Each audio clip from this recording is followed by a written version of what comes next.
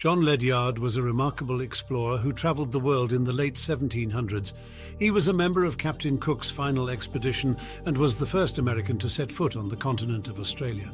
Ledyard also attempted to travel around the world on foot, but was stopped by Russian authorities. He then tried to travel from Europe to the Pacific coast of North America, but was again stopped by authorities.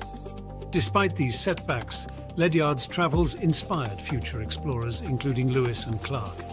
He also wrote a book about his travels, which was published posthumously. Ledyard's legacy as an explorer and adventurer lives on to this day. Did you know that he once tried to travel to the North Pole by walking across Siberia?